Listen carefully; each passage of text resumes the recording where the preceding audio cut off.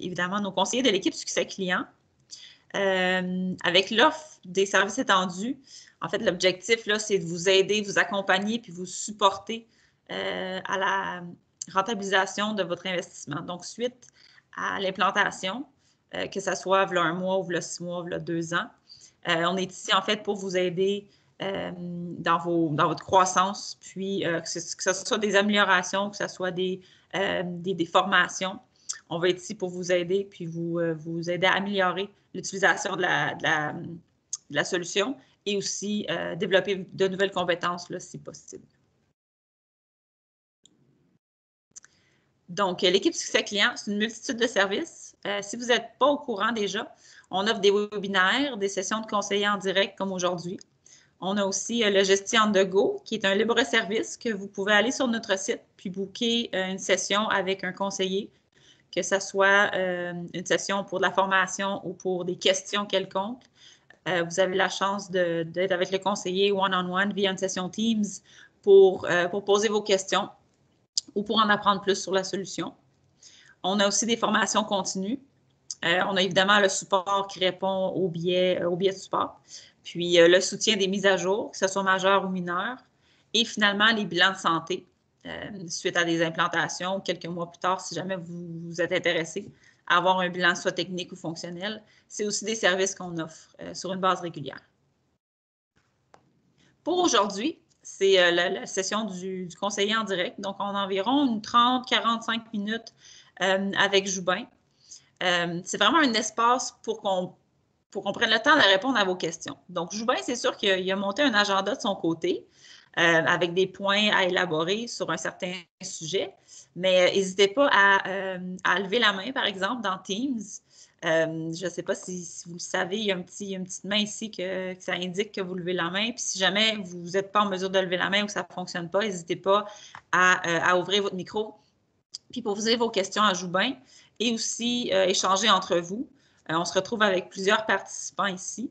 Donc, c'est bien d'avoir des idées euh, d'un côté ou d'un autre ou de valider euh, d'un côté ou d'un autre, que ce soit avec Joubin ou avec, avec une autre personne par rapport à vos questions.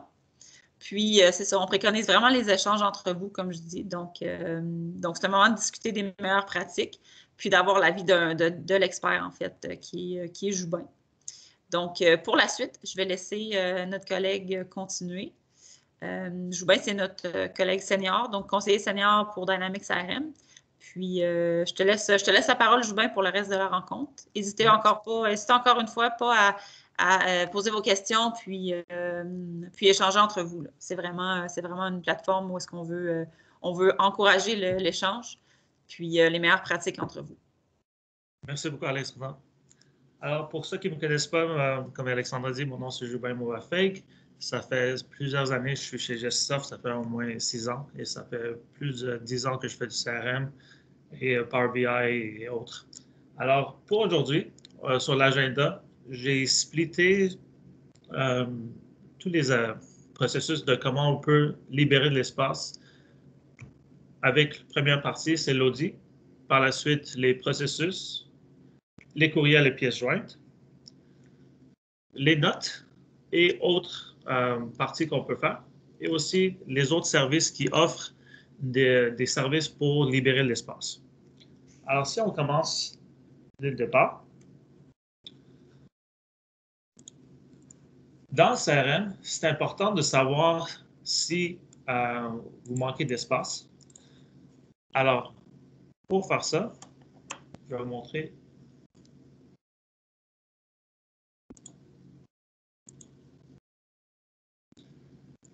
pas.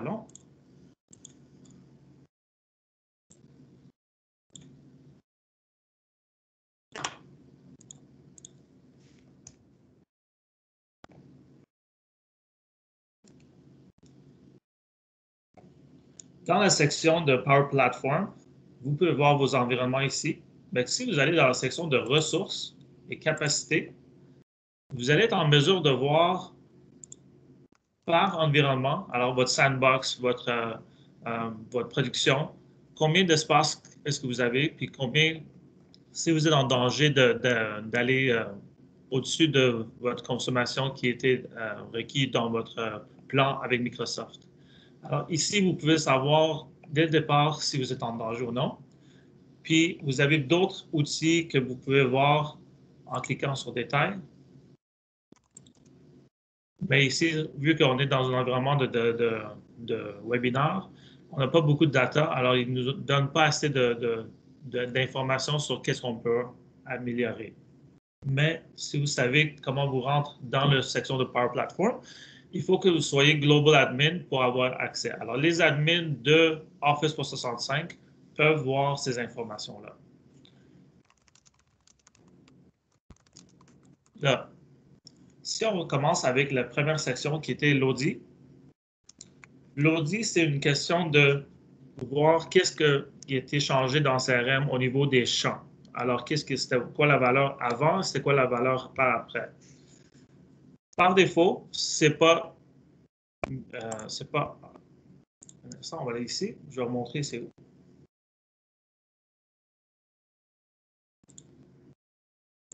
Si vous allez dans la section de administration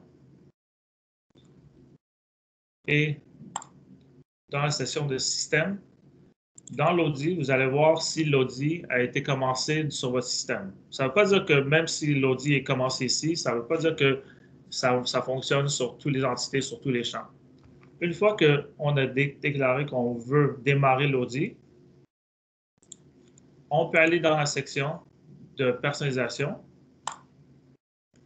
et personnaliser le système.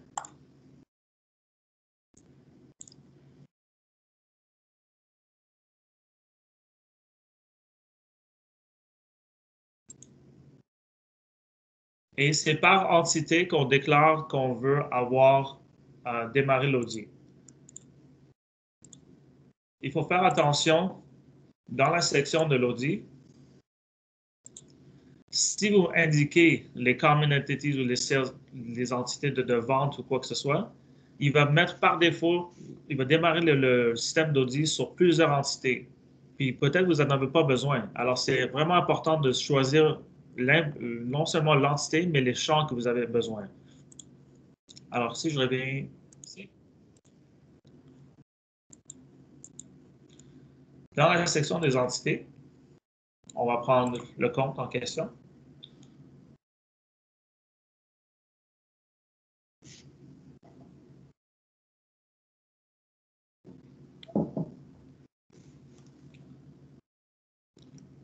En bas ici, là, vous déclarez que vous voulez démarrer l'audit sur l'entité. Quand vous cliquez pour démarrer et vous sauvegardez et publier, par défaut, il va mettre tous les champs en, mode audit. Alors, il va falloir que vous rentrez dans tous les champs pour définir c'est quel champ que vous voulez qu'il soit mis en audit. Alors, je vais vous montrer de quoi il y a l'air.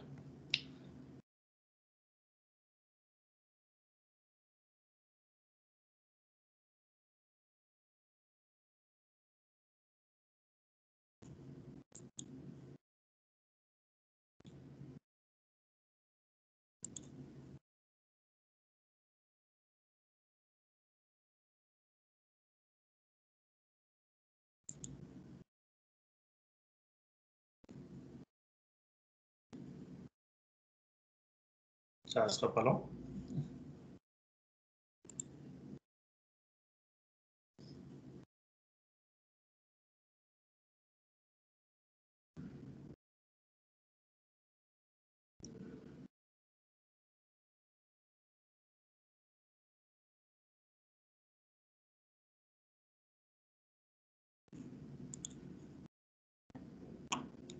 Le système est lent aujourd'hui.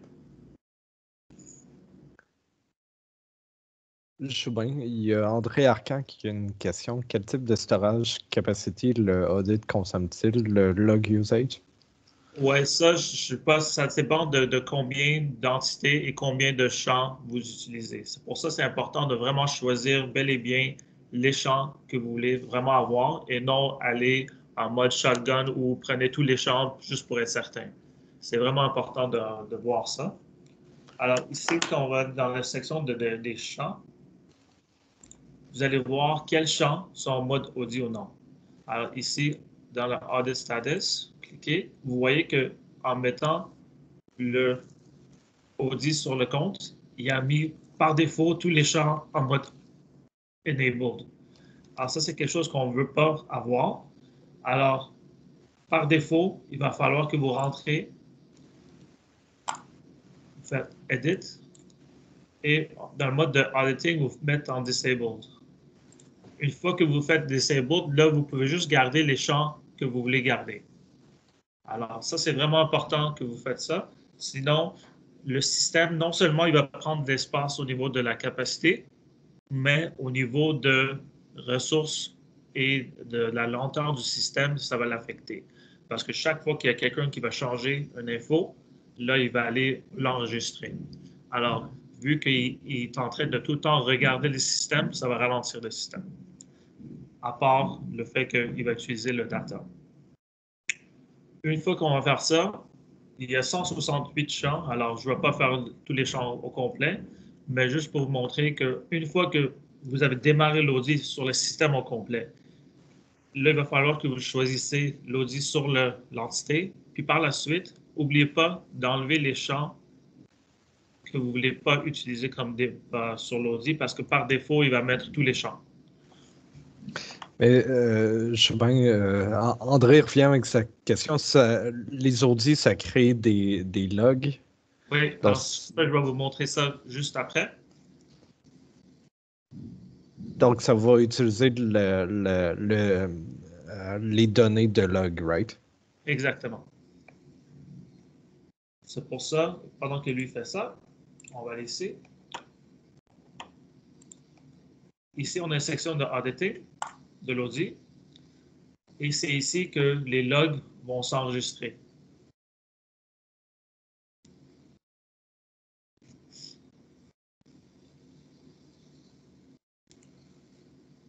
Ici, dans le management, ici,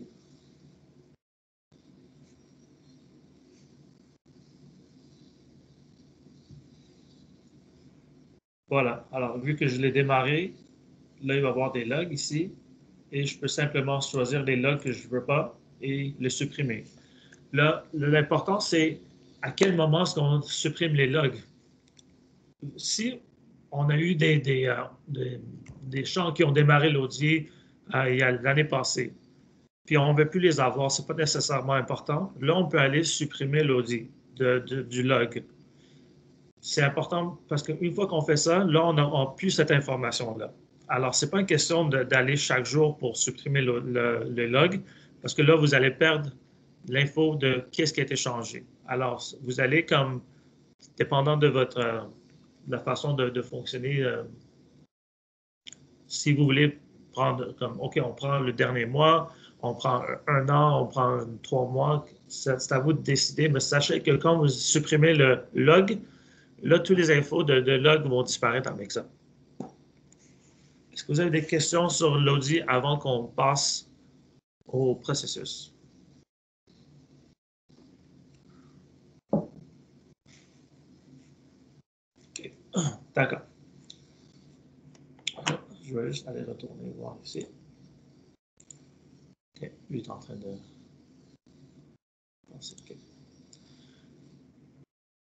Alors, au niveau des processus,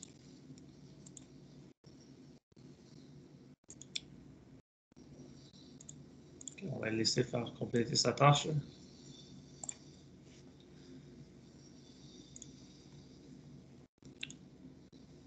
Alors, au niveau des processus, des workflows,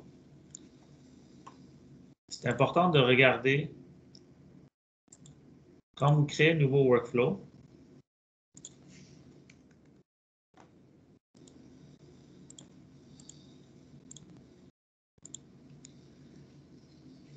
Si c'est un workflow asynchrone, vous allez avoir l'option de supprimer l'enregistrement de, log qui va déterminer que le workflow a été passé avec succès.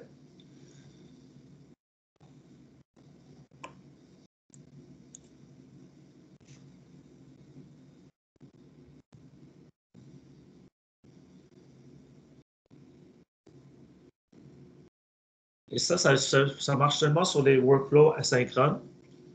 Et au, départ, quand vous créez des workflows pour faire des tests, c'est important de voir, il faut prendre du troubleshooting pour voir si le workflow a fonctionné ou non. Moi, par, expérience, je ne check pas la boîte de supprimer au départ, juste pour savoir si bel et bien il est parti et si j'ai bien fait mon une fois que je suis certain que j'ai bien fait mon workflow, là, la boîte de supprimer les workflows qui ont passé avec succès, ça, je la check pour que ça n'enregistre pas dans le système. Parce que si vous avez, disons, 500 enregistrements et le workflow passe euh, pour, sur, chacun des work, sur chacun des enregistrements par jour, là, ça va créer des logs, puis vous ne voulez pas avoir ça. Je ne sais pas pourquoi le système est aussi lent que ça aujourd'hui.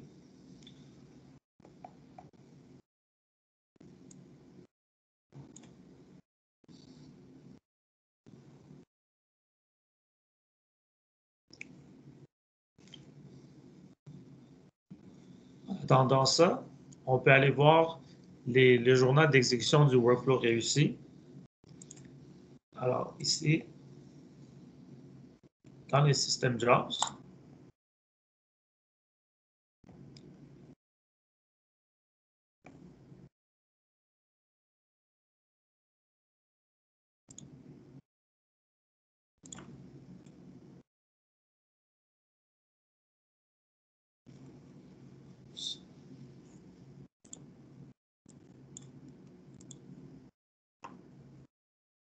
Dans la recherche avancée, on peut aller voir les system jobs pour des workflows.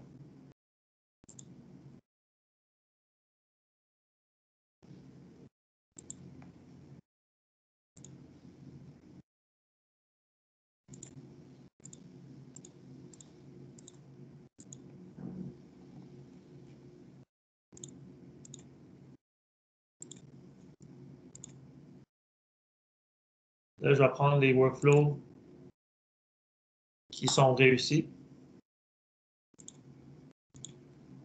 Alors, ce que je faisais avant pour les workflows avec le poids de check, checkbox, ça c'était pour les nouveaux workflows que je crée. Mais disons que le système a déjà été configuré d'une certaine manière. Et là, je vais aller voir dans le passé. C'est pour ça que je vais aller voir ici. Et là, je peux déterminer que je veux avoir, je veux garder un certain buffer de combien de, quel workflow je veux euh, supprimer au niveau de, du log.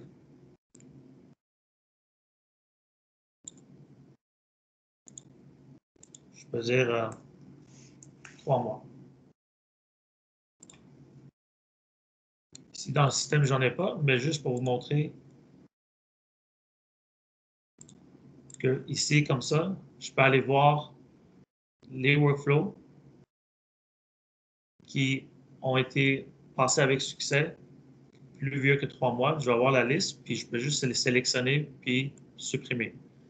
Comme ça, c'est ça c'est pour le data existant déjà dans le système. Je vais aller voir si l'autre section il est prêt. Voilà.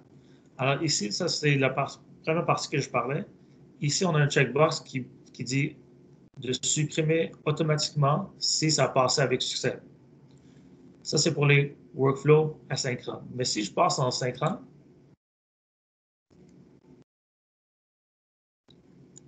vous allez perdre cette option-là. Oui, il n'est plus là. Alors, c'est juste en mode asynchrone que ça fonctionne. Alors, au début, quand je suis en train de créer mon workflow, je l'enlève pour faire du troubleshooting au cas où que ça ne fonctionne pas. Je vais avoir dans, le, dans la section de Process Sessions, j'ai besoin de le voir ici pour savoir qu'il est bien passé. S'il n'a pas bien passé, là, je vais, je vais savoir qu'il y a quelque chose que j'ai besoin de corriger dans mon workflow. Et après, une fois que je suis satisfait, là, je vais checker la boîte pour que ça supprime les, les logs. Vous avez une question en date sur les workflows?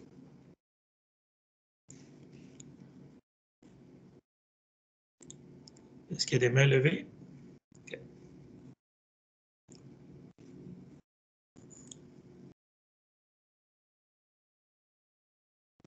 OK. Puis, si on retourne ici, dans la recherche avancée, on peut aussi aller voir les workflows qui sont en mode suspendu, qui sont en mode attente.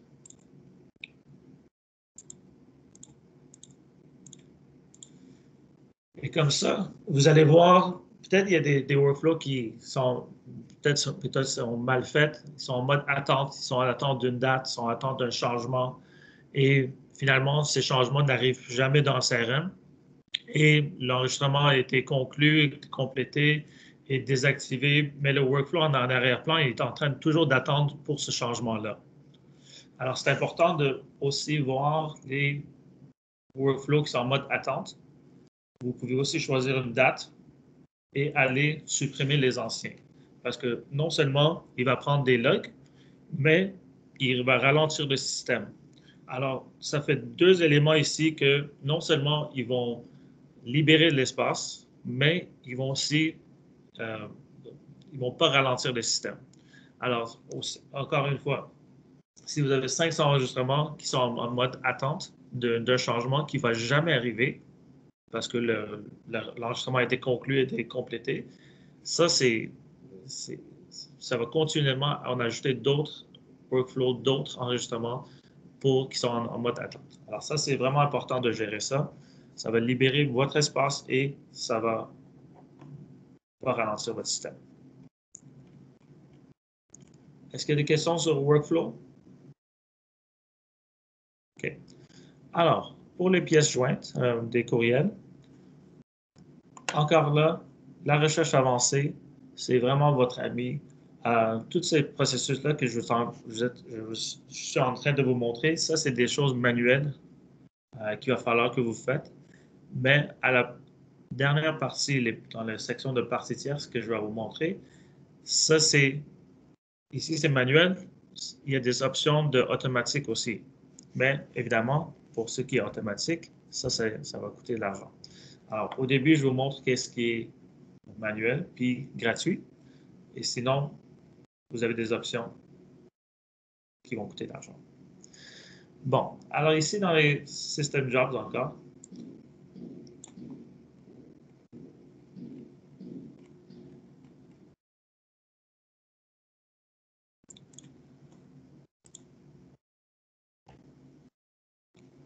les courriels, on peut voir les courriels qui ont des attachements. Et ici, dans les attachements,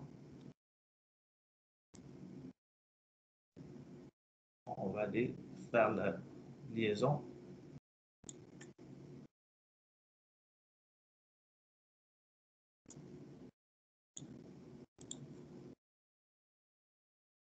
Et ici, on peut aller voir le file size. Et ici, le, juste pour vous montrer j'ai un tableau ici.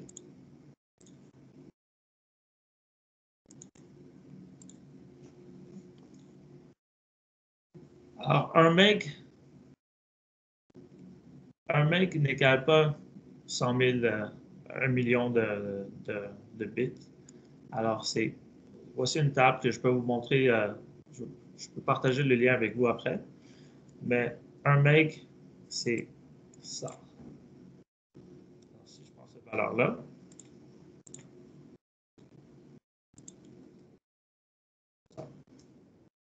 Alors ça, c'est un meg.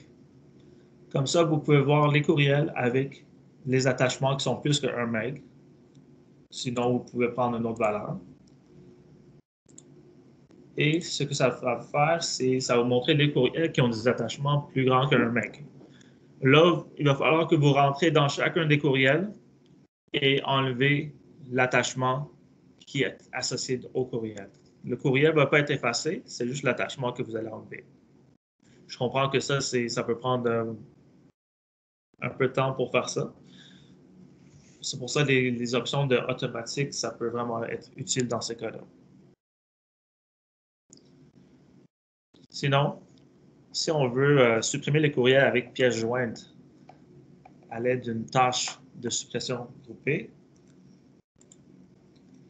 on peut aller.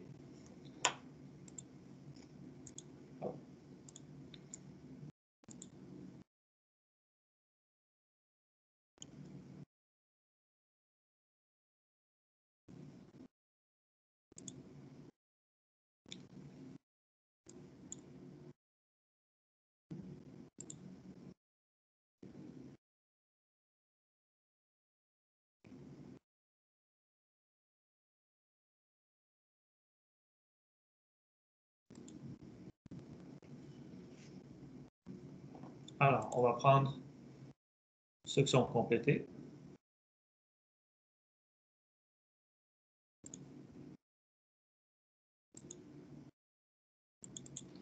Il y a Yvan Côté qui a levé la main pour une question. Oui, c'est quoi la question? Je vais ouvrir mon micro, je pense que ça va aider un peu. Euh, Pardon? La question, c'est concernant les fameuses pièces jointes au courriel. Est-ce que ça se peut que les courriels euh, que l'on joint au CRM, la pièce jointe ne suive jamais, que ce soit automatisé? Que les pièces jointes ne sont pas. Euh, ils ne viennent pas dans le CRM? Oui, que ce soit seulement le, contenu du, courriel qui soit joint, puis que s'il y a une pièce jointe, elle, elle ne suit pas. Ça dépend si la pièce jointe, vous voulez l'amener dans, disons, dans SharePoint automatiquement. Alors, le courriel va aller dans CRM, puis l'attachement va aller dans SharePoint, exemple. Ça, c'est avec les, les third parties, les parties tierces, que vous pouvez faire ça. Mais par défaut, non, il ne va, il va pas le faire. OK. Mais est-ce que ça peut arriver qu'il fasse tout simplement la supprimer, qu'il ne l'amène pas? Euh, un instant, parce que ici, je vais vous montrer quelque chose dans la section d'admin,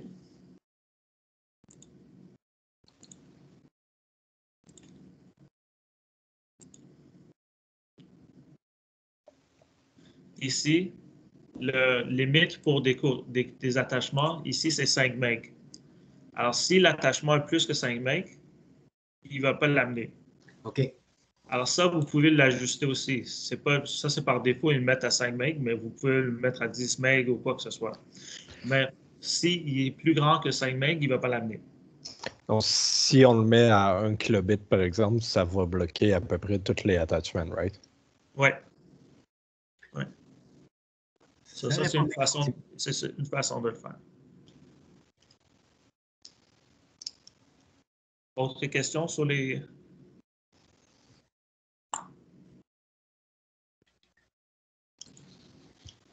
Il y a Mélissa Birbé qui avait une question aussi. Oui, allez-y. Oui, pour faire un petit peu du pouce sur ce que M. Côté disait, si jamais on définit la taille limite, euh, est-ce qu'il va quand même copier le courriel sans copier la pièce jointe ou il ne copiera pas du tout le courriel? Non, il va copier le courriel, c'est juste, l'attachement, au niveau de l'attachement. Parfait. C'est bien, merci. OK.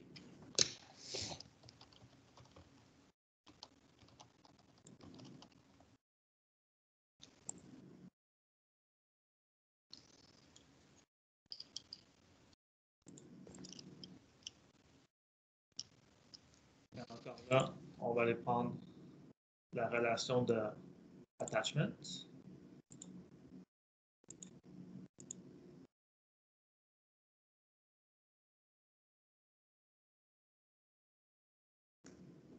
Ça aussi, c'est une manière de, de, passer pour voir euh, les courriels complétés avec un certain euh, attachment size. Comme ça, vous pouvez supprimer, mais là, ça va supprimer le courriel complet. Alors, c'est une question de voir les courriels, supprimer les courriels ou sinon supprimer les attachements des courriels.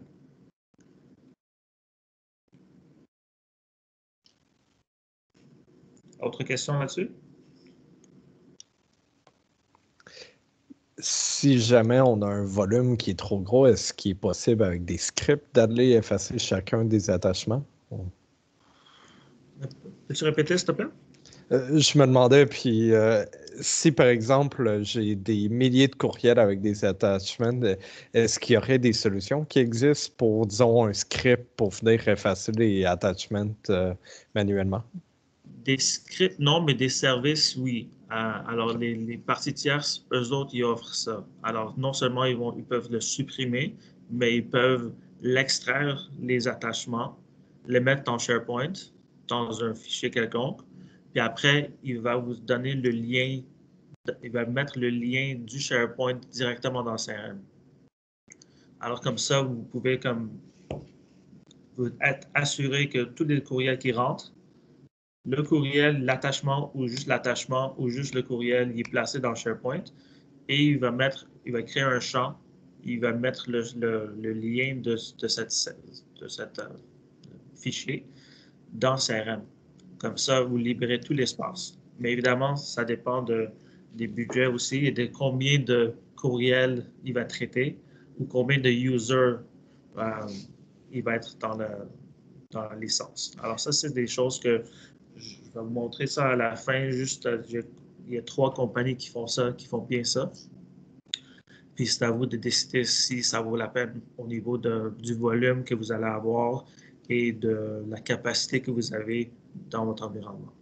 Et surtout, ça dépend aussi si c'est trop technique ou non. Des, solutions tierces comme ça, ça peut vraiment être utile. Sinon, si vous avez quelqu'un, euh, admin, qui est capable de gérer ça, on peut créer des dashboards.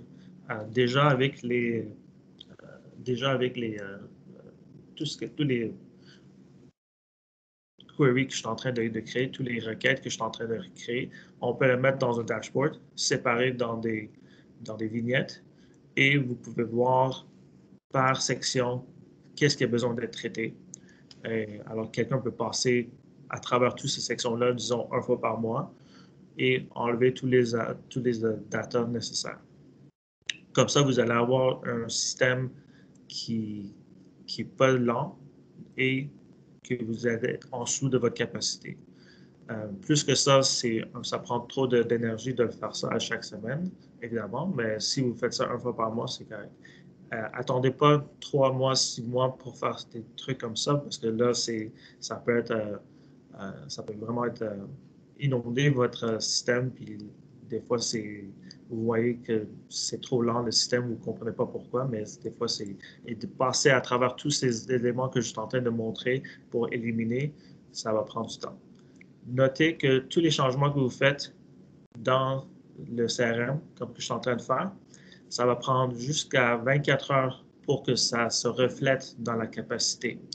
Alors, si vous enlevez plein de choses aujourd'hui, puis vous, voyez que le système est encore lent et la capacité n'a pas changé, ça va prendre jusqu'à 24 heures pour le faire. Alors, ça, c'est aussi important de, noter. Aussi, si vous enlevez, disons, disons vous avez enlevé 100 euh, MB de, data, de log ou d'attachement, le lendemain, vous allez voir que ça pas reflété 100 MB. Ça, c'est parce que vous avez encore créé d'autres enregistrements en attendant pendant ces 24 heures-là et vous avez reçu d'autres courriels pendant ce temps-là. Alors, ce n'est pas nécessairement 100 MB égale 100 MB. 100 MB peut égaler à, 80 MB à place. Alors, juste être, juste être conscient de, ces deux facteurs-là, que ça prend 24 heures et juste parce que vous avez enlevé 100 MB, ça ne veut pas dire que ça va enlever 100 MB de la capacité, parce que vous êtes en train de toujours créer de nouveaux data. Est-ce que c'est parti là est clair? Good. Alors, l'autre partie, ça c'est pour les notes. Encore là, on va rester ici.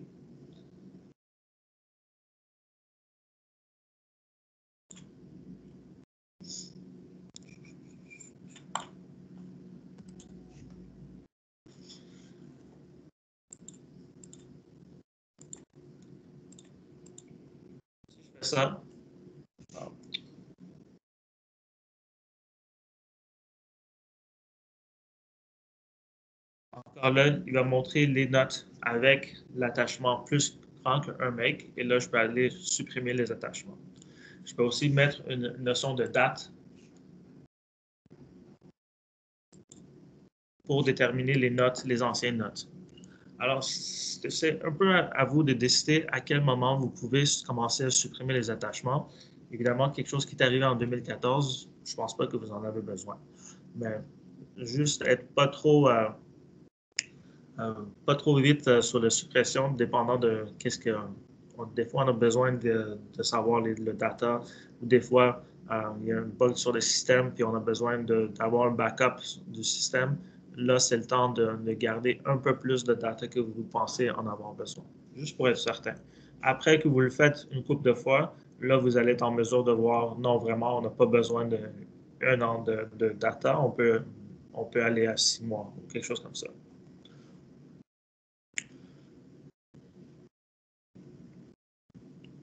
OK, je vais skipper le reste des notes aussi parce que c'est on manque un peu de, temps.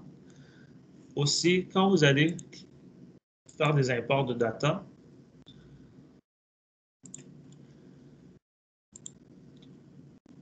tous les fichiers d'import que vous allez importer,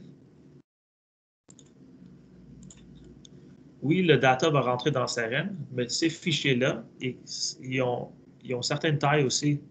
Alors, peut-être qu'ils ont 10 MB, 12 MB chacun des deux, chacun des, des, fichiers. Et ça, ça peut prendre de l'espace aussi. Alors, une fois que c'est importé, vous pouvez simplement aller puis supprimer le data ici. Ça va simplement supprimer le fichier. Alors, ici,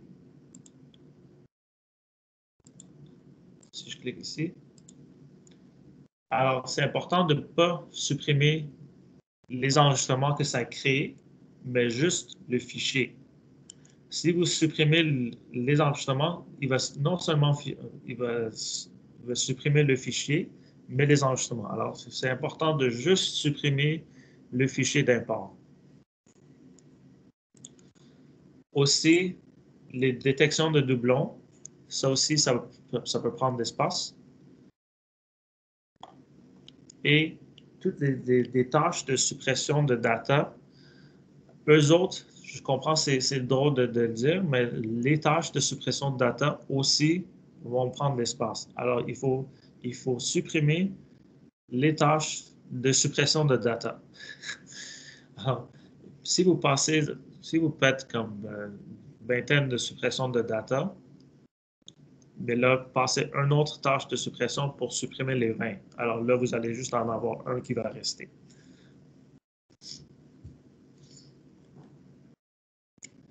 Une autre chose que c'est important de voir, dans la section de personnalisation, quand on fait une recherche ici,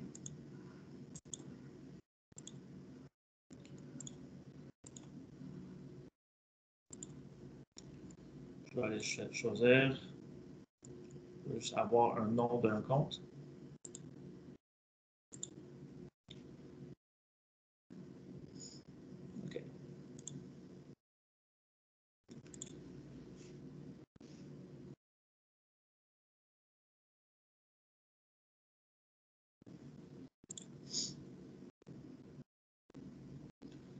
Alors, ici, on a le Relevant Search. Ça aussi, on détermine quelle entité qu'on peut aller chercher et aussi quel champ. Ça aussi, ça va prendre de, l'espace. Alors, quand vous êtes dans la section de personnalisation ici, quand vous cliquez sur Entité, on peut configurer ce Relevant Search. Alors, ici, on peut déterminer les entités qu'on veut qui soient incluses dans la recherche globale du CRM. Alors, le plus d'entités qu'on a ici, le plus qu'il va ralentir les systèmes. Et par la suite, pour chaque entité,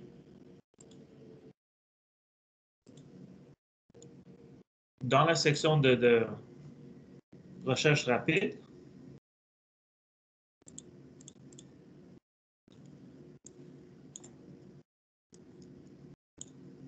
vous avez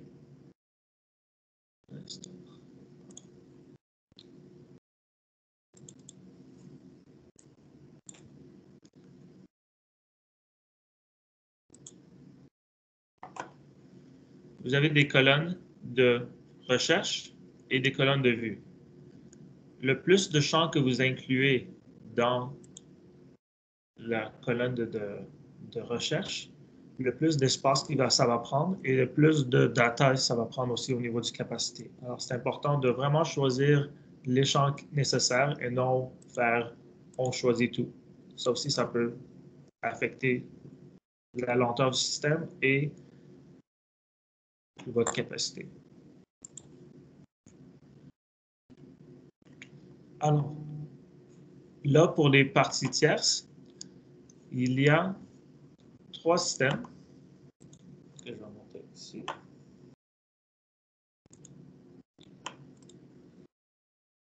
Il y a CB Dynamics, MSM Add-on et Power Attachment. Ces trois-là, c'est des systèmes automatiques qui vont aller chercher les courriels ou les attachements et ils vont le mettre dans SharePoint. Euh, pour chacune de, ces trois-là, c'est important de voir, basé sur la licence, qu'est-ce qui est important pour vous. Euh, J'ai allé chercher dans MS.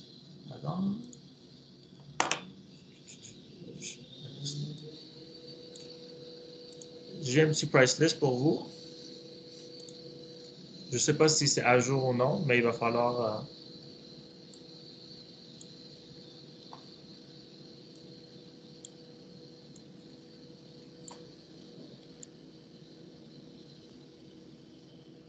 Alors, ici, c'est par user. Il va aller voir le data. Et c'est quelque chose qui s'installe en VM. Et il peut, extraire le data et il va mettre dans SharePoint. Alors ça, ça dépend aussi si c'est quelque chose qui vous intéresse. Euh, je vais inclure ce document-là dans le Teams, puis je vous l'envoyer. Est-ce que vous avez d'autres questions? Il nous reste cinq minutes, so je veux juste euh, m'assurer que je réponds à toutes les questions pour le temps qui reste.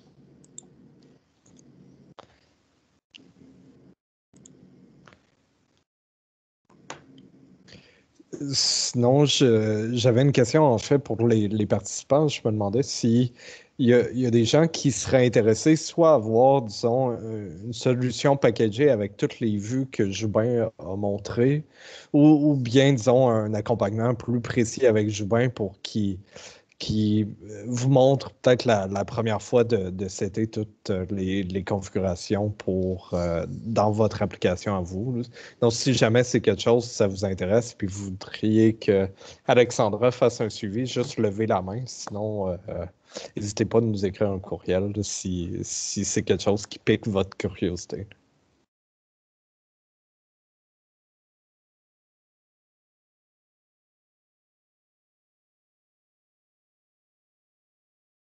Est-ce qu'il y a, sinon, est-ce qu'il y a des sujets qu'on a abordés que, vous, ou que vous auriez aimé que, que Joubin aborde ou que vous, euh, qui vous montre? Hmm.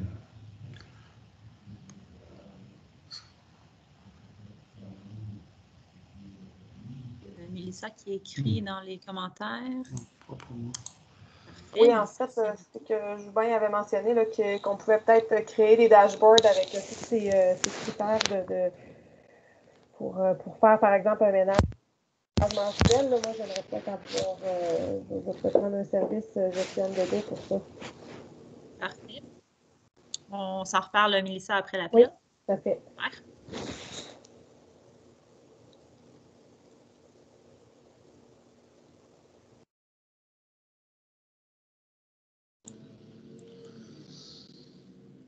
OK. Alors, euh, Super. Si vous n'avez pas d'autres questions, euh, merci pour votre temps. Et euh, si vous avez d'autres questions, n'hésitez pas à nous envoyer un courriel, puis ça nous fait plaisir de répondre à vos questions. Merci tout le monde. Passez, passez un bel après-midi. Merci. Merci.